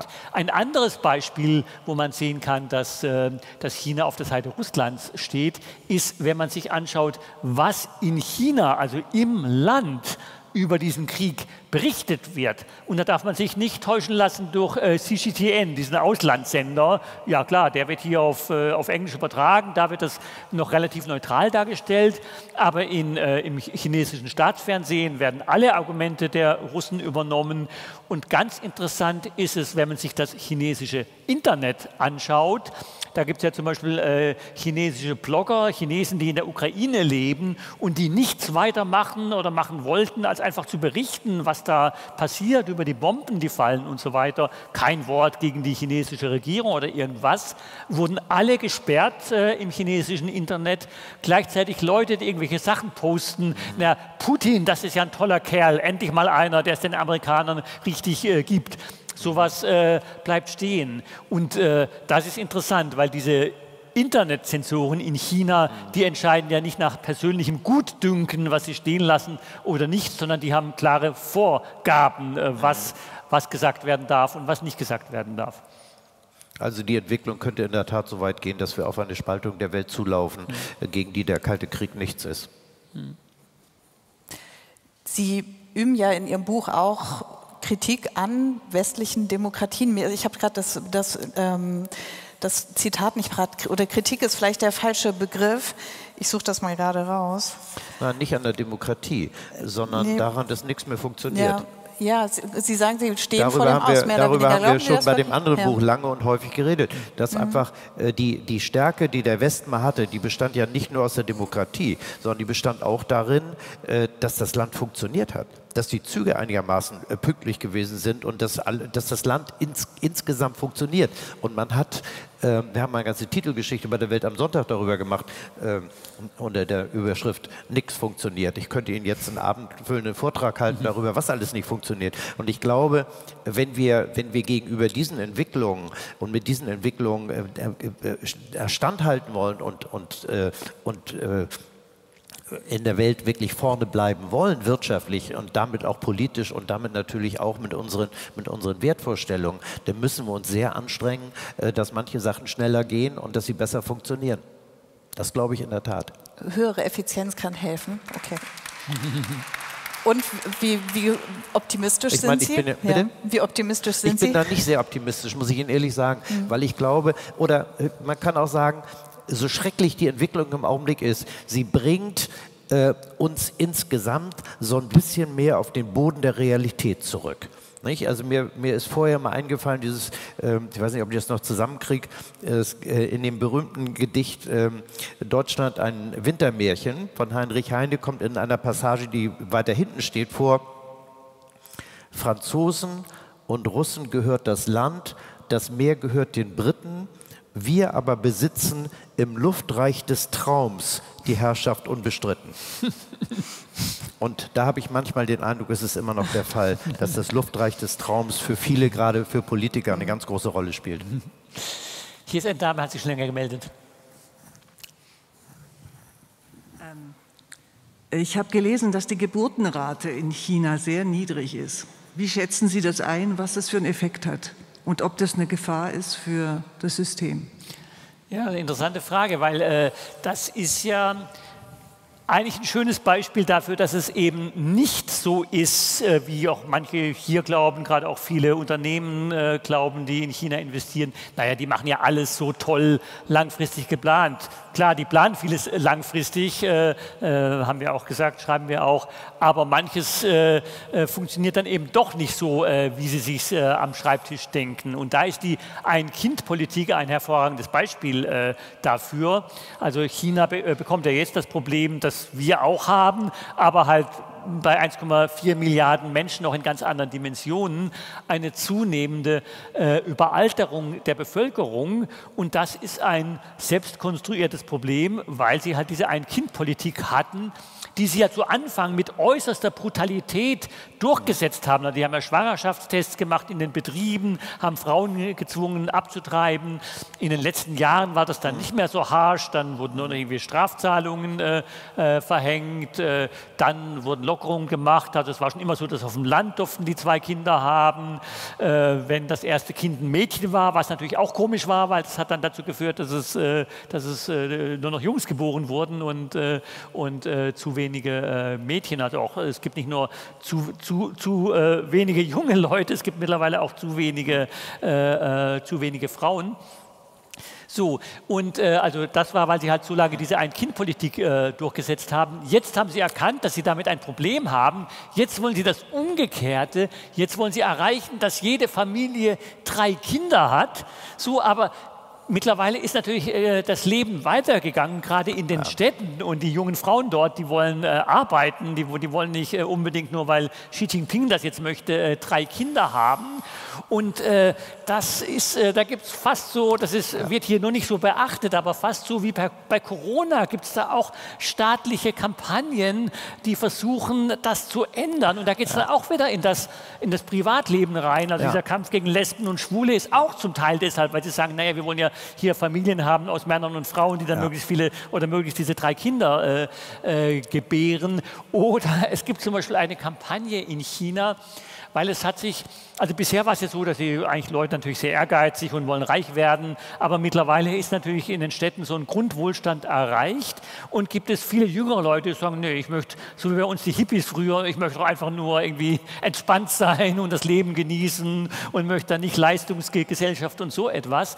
Und das sieht die kommunistische Partei jetzt als eine große Gefahr, weil die wollen ja Leute haben, die ehrgeizig ja. sind und dann die drei Kinder gebären aber, und so weiter und so weiter. Aber das Gute darin ist, eben, dass auch autoritäre Systeme nicht alles anordnen können mhm. und nicht immer die richtigen Entscheidungen treffen. Mhm. Manchmal muss man es auch irgendwie laufen lassen. Ich weiß jetzt nicht, wer als erstes dran war, aber ich zeige mal dort in die fünfte Reihe, glaube ich. Ja, guten Abend. Ähm, mich würde mal interessieren, wie groß der Einfluss Chinas in Afrika ist. Ähm, ich weiß, dass das äh, eine große Rolle spielt in Russland auch. Und ist das vergleichbar? Also wir haben mal, wir haben mal einen Mehrteiler gemacht über Öl und Gas fürs ZDF. Äh, und äh, da hast du, glaube ich, gedreht, nicht? War ich in Angola, ja. Mhm. In Angola, mhm. nicht? Und das ist ein sehr schönes Beispiel davon, wie, das, wie die das gemacht haben. Äh, erzähl doch mal, also wie die ja. da die Straßen gebaut haben. Also ja. Also total irre und das, äh, das ist nur ein kleines Beispiel dafür. Ja. Nein, China ist sehr erfolgreich in Afrika. Also was sie machen, äh, wir haben es damals in Angola verfolgt, aber sie machen das in allen afrikanischen Ländern, dass die Hunderttausende von chinesischen Arbeitern hinschicken, äh, die natürlich aus ihrem eigenen Land große ja. Erfahrung haben, eben sehr schnell Häuser, Straßen und so weiter zu bauen. Zu bauen. Dadurch, was erstmal auch positiv ist, diesen afrikanischen Ländern helfen ja. die Infrastruktur äh, zu entwickeln. Aber natürlich, Und sichern sich äh, dafür für zehn Jahre das Öl. Äh, aber dafür kriegen sie natürlich die Rohstoffe dann, ja. Öl vor allem. Und, äh, und äh, erreichen natürlich auch starken politischen Einfluss, weil es natürlich aus, aus Sicht der afrikanischen Länder, vor allem der afrikanischen Regierungen, ist, die sagen, naja, die, ja. die Deutschen, die kommen hin, bauen mal irgendwie einen, einen, einen Fahrradweg oder so und, und, die Chinesen, die bauen uns die ganze Infrastruktur und die ja. Flughäfen und die, und die Häuser und alles. Und das ist auch etwas, was der Westen völlig verschlafen hat und Afrika ist heute auf der Seite Na, Chinas. Namibia kommt man nach Windhoek, sind riesengroße Bauvorhaben, äh, die von chinesischen Firmen gebaut ja, werden. Äh, dadurch haben die Leute äh, dort nicht so richtig Arbeit, aber die Regierung kriegt den Deal irgendwie hin, dass die Chinesen in die Häuser dahin bauen und sich dafür bestimmte Rohstoffe sichern. Also da sind die, sind die ziemlich weit vorn. Also muss man wirklich sagen. Äh, und das ist auch eine wirklich durch. Das, ich kann das sozusagen nachvollziehen. Nicht? Das macht von denen aus durchaus Sinn. Aber wenn man das aus unserer Sicht betrachtet, dann kann man sehen, da liegen wir weit zurück. Und äh, wir haben im Buch natürlich auch ein Kapitel über das Projekt äh, äh, Neue Seidenstraße oder Belt and ja. Road Initiative von, von äh, Xi Jinping. Und äh, da geht es ja nicht nur um Afrika, sondern eigentlich sagt er ja auf dem Gebiet der, der früheren historischen Seidenstraße, aber da rechnen er mittlerweile sogar Lateinamerika dazu. Also eigentlich, dass er weltweit und äh, vor allem in ärmeren Ländern da riesige Infrastrukturprojekte anstößt, äh, dadurch die Länder auf der einen Seite für sich gewinnt, auf der anderen Seite aber auch wirtschaftlich abhängig macht. Also die verschulden sich äh, dabei auch äh, stark bei China und aber es ist eigentlich wie, wie der Marshallplan ja. früher, nur viel ja. größer. Wenn, wenn die Amerikaner das in den 60er und 70er Jahren gemacht haben, hat man gesagt, amerikanischer Kolonialismus und Imperialismus. Aber das war im Prinzip auch nicht so viel anders. Ja, aber sie machen es eben erfolgreich und sie haben eben einen Plan. Äh, der Westen hat keinen Plan, die haben einen Plan. Und äh, also bei, äh, es geht, geht, um eine Billion, Billion Dollar bei diesem äh, Seitenstraßenprojekt. Und der Einfluss geht ja bis nach Europa. Die haben ja die ganzen Häfen in Griechenland zum Beispiel, äh, gehören den Chinesen, was dann Griechenland ja. auch schwer macht. In der EU, wenn es darum geht, soll man irgendwie sich von China mehr distanzieren oder so, dann stimmen die Griechen normalerweise dagegen, die Ungarn auch, weil sie sehr stark stark von, von China abhängig sind. Also das ist wirklich äh, das, weshalb sich die Welt so verändert hat, weshalb wir sagen, Xi Jinping der mächtigste Mann der Welt. Dass, äh, ich meine, früher war, der, äh, war die Sowjetunion auf der anderen Seite und die Sowjetunion war, wie Helmut Schmidt damals sagte, Obervolta mit Atomraketen. Hat, war zwar militärisch stark, aber wirtschaftlich schwach. Und jetzt gibt es ein System, das unsere Freiheitsvorstellungen ablehnt, das aber wirtschaftlich äh, in vielen mit uns gleich ist oder in anderen, manchen Bereichen sogar überlegen. Zumindest äh, überlegen in dem, wie sie ihre wirtschaftliche Macht nutzen für ihre Ziele. Gut, nehmen wir doch mal wieder jemanden aus der Mitte hinten. Da gibt es zwei erhobene Arme, sehe ich. Wir haben ja jetzt schon einiges über Putin gehört und äh, ich mache die Frage ganz einfach. Ist der mächtigste Mann der Welt, der Chinese Xi Jinping, ähnlich strukturiert vielleicht wie Putin, also unberechenbar? Bricht ein Krieg vom Zaun, von dem er glaubt, dass er den in drei Tagen gewonnen hat? Muss sich der Westen darauf einstellen, die NATO? Muss sich Deutschland etwas zurückziehen aus, dem, aus den wirtschaftlichen Verflechtungen mit China? Äh, es könnte uns passieren, dass wir sozusagen aus Versehen zurückgezogen werden, indem sich die Welt, also wie wir vorhin schon angedeutet haben, ein Stück weiter spaltet, je nachdem, äh, wie weit äh, die Konflikte zunehmen. Wir können das ja sehen. Äh, äh, Putin hat offenbar nicht wirklich damit gerechnet, dass der, dass der Westen so darauf reagiert, auf diesen Einmarsch in die Ukraine, dass wir sogar bereit sind zu riskieren, dass wir im Winter frieren, wenn wir nicht mehr genügend Gas bekommen. Und wenn, nehmen wir mal an, China würde was ich mag es ja gar nicht laut sagen, irgendwie Taiwan äh, versuchen würde zu erobern, äh, dann hätten wir eine Wirtschaftskrise, die auch dazu führt, dass wir wahrscheinlich die wirtschaftlichen Beziehungen zu China weitgehend einstellen. Und dann haben wir also diese Teilung der Welt, die wir möglichst äh, vermeiden sollten. Denn unser gesamter Wohlstand und damit auch die Sicherheit des Landes, das hängt ja alles auch davon ab, wie es dem Land geht, wie, wie wir wirtschaftlich sind.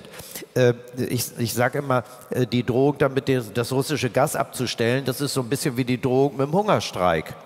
Äh, und deswegen, und, und deswegen sieht, glaube ich, Putin das relativ cool an. Wenn die dann das Gas nicht mehr haben wollen, dann wollen sie es nicht mehr haben. Ich kann mich erinnern, als der vor ein paar Jahren in Deutschland war, da gab es eine Pressekonferenz, äh, auch ähm, über, über die Energiefrage. Und da sagt er so locker dahin, naja, ich verstehe die Deutschen, ich verstehe euch Deutschen immer nicht so richtig.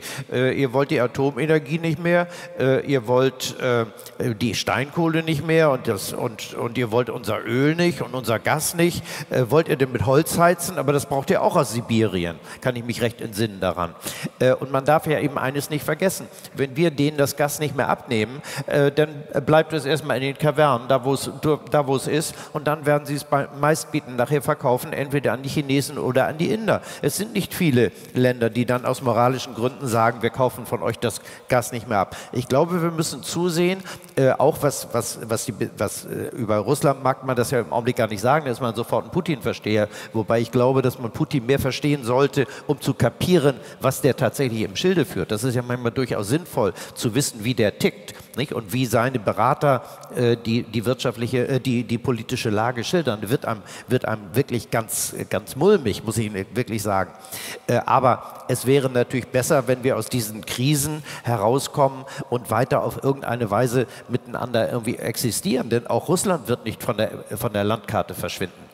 Das darf man wirklich nicht unterschätzen und immer nur zu glauben und zu hoffen, äh, dass der irgendwann mal abtritt oder abgelöst wird, ist, kann auch möglicherweise daneben gehen. Und äh, wir kennen das aus historischen äh, Phasen, wo Länder sich ziemlich übel benommen haben, dass man anschließend doch wieder mit ihnen geredet hat. Ich glaube, das wird da auch passieren und ich glaube nicht, dass wir ein großes Interesse daran haben könnten, dass der ganze Konflikt so eskaliert, dass wir nachher im Dritten Weltkrieg landen.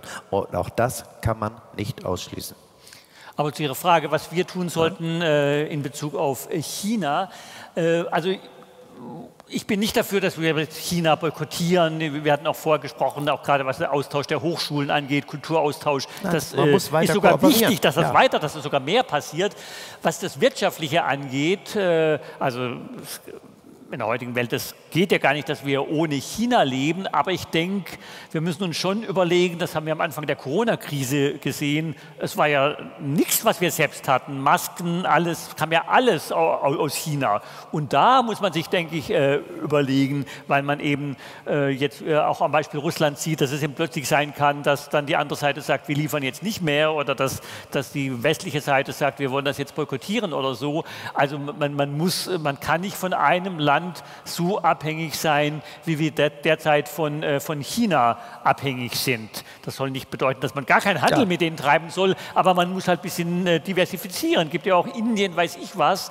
Und es, es kann nicht sein, weder dass alles, was wir hier haben, von der Kleidung äh, bis zum äh, Smartphone aus China kommen. Und es kann auch nicht sein, dass unsere Autoindustrie zum Beispiel zusammenbrechen würde, wenn sie, wenn, wenn sie äh, China nicht als Partner hat. Da müssen die halt auch schauen, wie sie sich irgendwie breiter aufstellen einfach.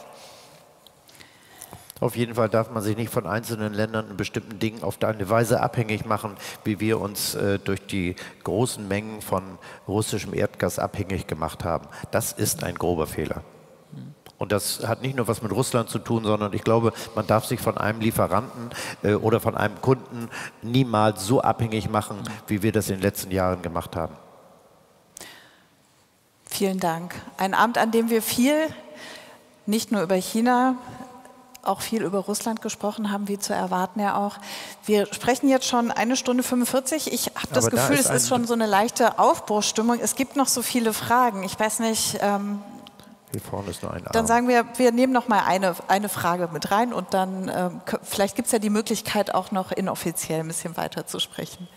Die Dame. Haben Sie eine Idee, wie sich das Schicksal der Uiguren entwickelt und warum die arabischen Länder so zuschauen? Wir haben, über die Uiguren haben wir auch ein Kapitel in dem Buch. Äh, also die Geschichte ist ja die, wenn man es jetzt verkürzt zusammenfasst. Im Prinzip ist das ja Xi Jinpings Krieg gegen den Terror, also wie die USA ihren Krieg gegen den Terror hatten, indem sie Bomben auf den, auf den Irak äh, geworfen haben, auf andere Länder. So hat äh, Xi Jinping, es gab ja tatsächlich äh, äh, äh Terroranschläge von, von Islamisten, äh, uigurischen Islamisten.